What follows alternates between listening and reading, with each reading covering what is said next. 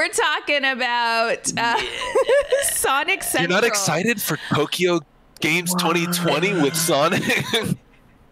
Hey, look, I'm a Sonic fan. Malik, give us the lowdown on uh, what happened here with Sonic Central. Okay, so uh, there it's Sonic's 30th anniversary, and Sega, um, as they do, wanted to preserve the legacy of Sonic, and Mm. you can't you can't discredit them for trying, right? They're just trying to give fans stuff. But what we ended up with was a bunch of like little weird things that nobody really asked for and nobody Yeah. really wanted.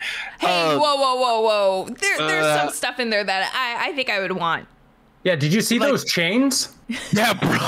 Oh, I'm all in on the chains. Yo, All there's four of them, four of us. I, I say we call up Sega and, and we represent on the tails. screen. I Let's take go. tails. Got Knuckles. Oh god. but it's it's i mean for me sonic has always been an arcade game it's Yeah. never been something that i'm really like oh, i want to play this at home like whatever like i go to an arcade and i play it and it's and i, I mean Even Sonic controversial state- Adventures. Uh, sonic adventures was okay for me like in my Ah. in my opinion the best sonic game ever made was the shadows one where it was like yeah, that yeah, yeah. open world shooter because like they Oh, tried yeah. something new they like it was Right. it was Oh basically like shadow but gt like it was gta but with shadow instead of it was like a weird thing um but like they they're trying right and i brought up this point before the show at least sega is doing more for sonic than nintendo did for the legend of zelda like There's at- still at time, least guys. there's some- There's still time. Whoa. I'm That's just intense. saying. I'm just saying, but it was like we got a bunch of like little weird DLCs. They talked about some of like these animations that they're making, and I and I want to get your guys' opinion because it seems like Sonic isn't really about the games anymore. It's it's more so just this brand where they just keep creating stuff for it and it just keeps growing and it's not at the level of something like Mario but it seems like they're almost treating it in that aspect. Mhm. Mm-hmm. It's like fake it till you make it. Well, they don't have to fake it anymore because they they have that legacy, right? Yeah. Um, but I, I posed this question before, and I'll ask it before we end. Actually, I won't bring it up right now. I'll ask it before we end. Um, but I want to talk more about specifically the Sonic Central, Central because, like you mentioned, there was some announcements that were like, uh, okay, what's going on? So Yeah. the cameos of Sonic throughout different iter- like different games. So Two Point Right. Hospital is one of them. Um, Yeah, so it was Tokyo Games 2020. There's a Sonic DLC and an unreleased Yakuza game. Judgment, There's a so- Minecraft Judgment. uh, That's the collab one I'm excited about. Judgment. Because Yeah. you know those Yakuza games, you could do pretty much anything you want. Like you could pet cats, go to a cat cafe, sing karaoke, and why not go to an arcade, Malik, and play a Sonic fighting game? Right? I was gonna say, Caboose, that's that's prime for your YouTube channel. I mean, it's not it's not bad, but yeah, this this whole presentation was just full of like little like Sonic nuggets, and then and then they were like, okay, okay, we all know you want like a, a brand new one, so here's the tiniest, littlest, little sample size tease we could possibly give you. Um, I don't know, I'm not I'm not huge into Sonic, and I'm not huge into these games in this world, so like this just I don't have a dog in this in this fight, but um, but I know that there was some controversy regarding this entire live stream and some people were either a little upset or excited. I, I i'm just not sure where everyone here falls on that especially when it comes to the announcement of what, what was it sonic central Yeah, that everyone was talking about Yeah. Sonic, Sonic Central was the event, right? Um, Yeah. and then the presentation, and, then they announced Colors Ultimate. Was, Yes, Colors Okay. Ultimate, and then they have also the other game that they teased for Sonic. they Sonic. teased that okay so okay, okay okay i thought the game was called sonic central i'm i'm stupid clearly. Um but, but but i will agree with what malik is saying is that even though they're throwing out like 52 different sonic titles that that range from different types of games and genres it is cool to see that sega is just going all in and at least trying and doing something with this character and doing something with this brand as much as they possibly can. I think that that is cool and i respect that even Yeah. if, like, even if the games aren't for me, even if it's not something I'm necessarily looking forward to, um, I like that for people who are fans, for people who are looking forward to the stuff, that there is plenty of content coming. Well, one of the nice things that, that uh, you know, I, I'm not too hot on Sonic. I, I've never been a real Sonic fan, but one of the things I can identify, at least in this in this um, presentation, was the fact that you know there are so many people here who um, can appreciate the different ranges of Sonic games. Sega always makes sure that they have like the 2D Sonic games, the nostalgic legacy titles, the 3D games, especially we see at the, the very end. That drove like uh, a lot of hype uh, for the 2022 game, which I must say, I think it's uh, absolutely hilarious that they didn't give a title during the presentation and then immediately leaked the title in a press release and then took it back. Yeah, yeah, Yeah, I heard about the Yeah. Sonic Rangers, and then they're like, "Oh no, that that was totally old. Don't worry about it." Yeah, yeah. It's like, What? okay. Maybe Yeah, they're it going through was- renaming because that name. Yeah, Like, okay. eh, maybe sure, not I'll, I'll, yeah. Uh, but Yeah, and regardless, Colors I, Ultimate really. No, go ahead, Steve. Sorry. No, I was going to say, well, yeah, you kind of just touched on it. Sonic Colors, that that's a game that a lot of Sonic fans, you know, like and everything. So to see it come to, uh, you know, current gen consoles is, is really great. And I think that they're at least appreciating, you know, the, the those legacy titles Yeah. and uh, keeping up with, you know, what people want from from this franchise. But in terms of like what this presentation did for me, like I said, I think I think the only cool thing for me was were those chains. I think we should all get them. But uh, yeah, I I'll leave the excitement and, and anticipation for the for the hardcore Sonic fans. Yeah, yeah, And yeah. I'm okay with that. Yeah, they also pushed that. Uh, I don't know if you guys noticed, but they pushed that Luna pretty pretty hard uh, a couple of times in Right. uh, in the press conference, which is Amazon's. Uh, Yeah. yeah. it's Amazon's new streaming, Streaming thing, right? service, okay, yeah. yeah. Which is so Um, weird so because yeah, their their and- Sonic Prime animation is coming to Netflix. They're just going where Who the money is. yeah. I like how at And the end of that, who knows? Who knows? And Sonic Colors Ultimate, it the trailer for that reminded me almost identical to Mario Odyssey. Like Mm-hmm. I I am excited if we get a Mario Odyssey for Sonic, I am going to be over the moon. I will play it. I cool. will love it. Yeah. I Yeah. I like that's something that could Is do that, really is that well. Is it going to out of this happen? Sonic? They have to because at this point we're still doing a side scroller in a 3D world. Mm-hmm. Like it's just like Sonic Colors was fun, but you were basically just going one direction in a 3D world. so So, it this felt is- like you were on Okay. rails. So this is what I asked though, right? Because I know Malik, you have some love for Sonic. I have some love for Sonic. Sonic Sonic Mania was so much fun. I love the 2D elements, um, the platformer of Sonic. Now, how long do you have a legacy like Sonic, and how long can you have that sell a product rather than actually create a product that stands the test of the current time?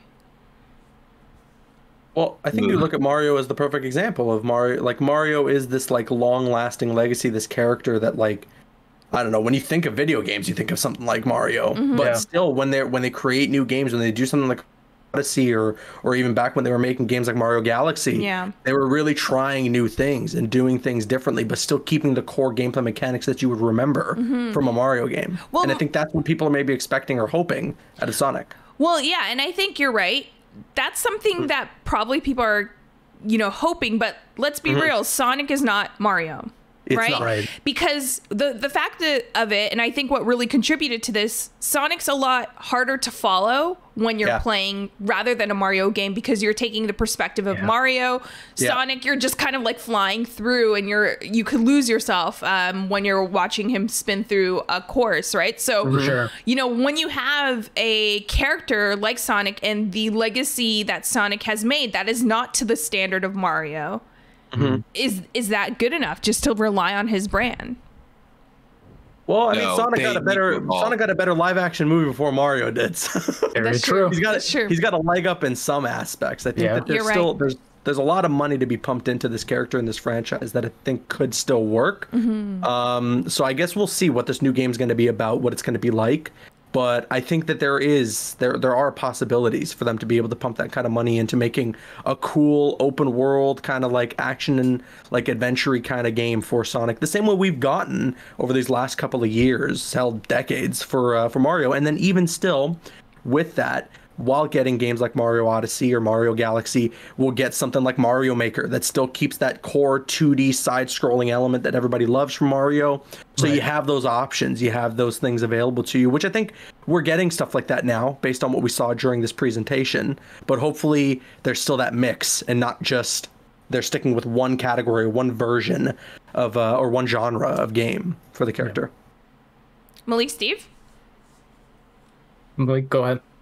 Uh, I just I really don't think that it's going to be enough. I love Sonic. I think that they're they're starting to rely a little bit too heavily, like you were saying, Caboose, on like all the stuff just surrounding it, right? Yeah. But at the same time, when Nintendo puts Mario stuff out, I feel like they're just trying to milk me for my money. I know that they're I know that they're gonna get like it feels like they put stuff out and they know that Nintendo fans are gonna buy it no matter what because they got the because yeah, exactly. But these like the messaging of all is for us as like gimmicky and weird as some of these announcements were, it was all pure fan service without expecting people to pay anything. Yeah. Like Right. it, it was just this like we want to give you fan like we want to reward fans for staying with the brand and, and Yeah. giving you what you want eh, maybe not what you want but if they want to def- continue as a game and grow and be successful if it wants to stay relevant in the gaming world they have to evolve just like you know uh, mario galaxy or, or mario odyssey like they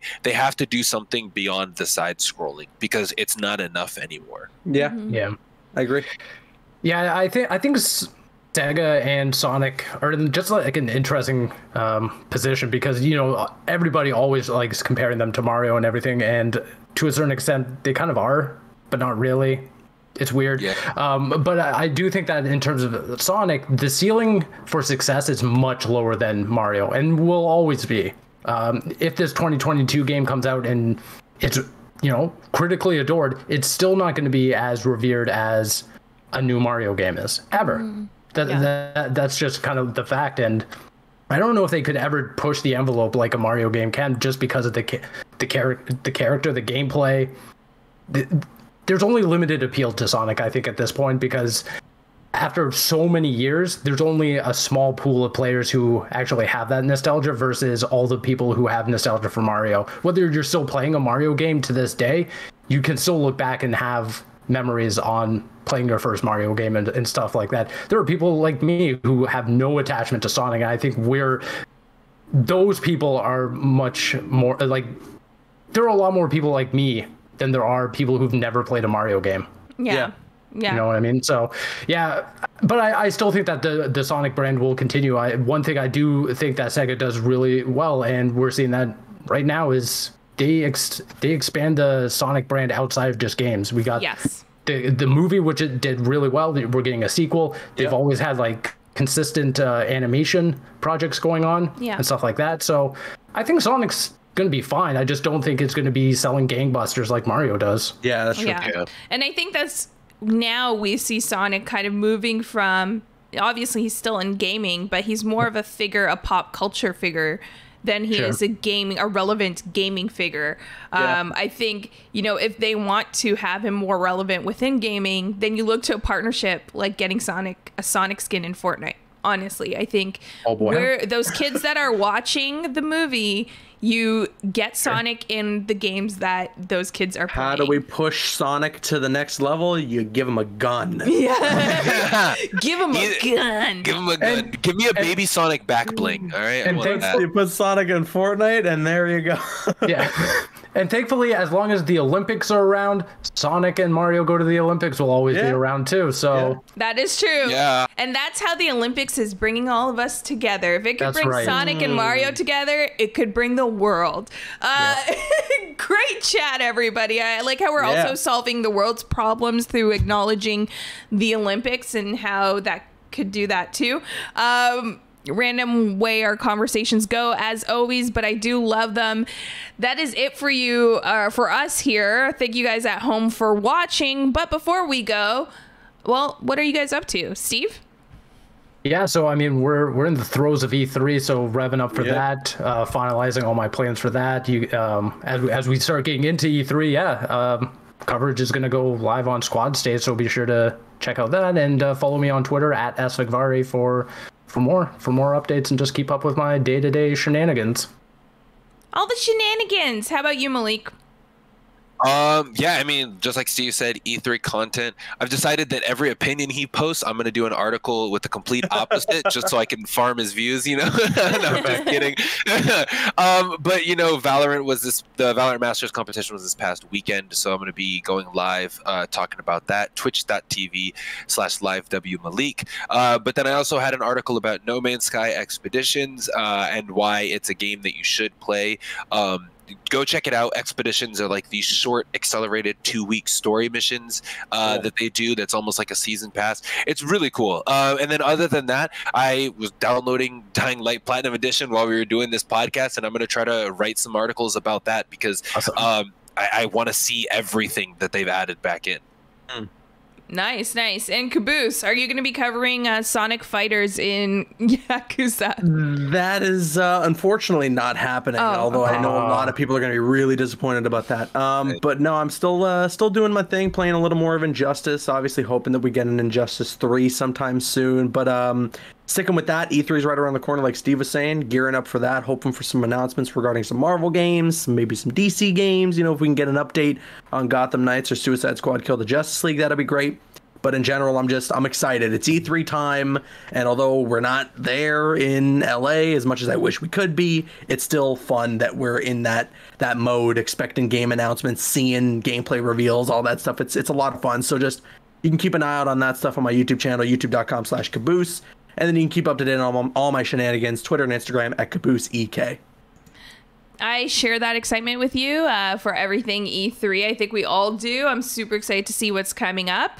Um, so, all my thoughts on everything, you can just follow at This Is Camco, as well as all the events that I'm doing around that. Uh, you could follow there as well. But for now, why don't you just follow Squad at Squad State on Twitter, and then you could read all the cool articles that Malik is going to make to counter Steve's articles at squadstate.com. So tune in there for all that. Of course, we'll be back next week to talk more gaming goodness. But for now, we hope you have a wonderful week. Enjoy your week, guys.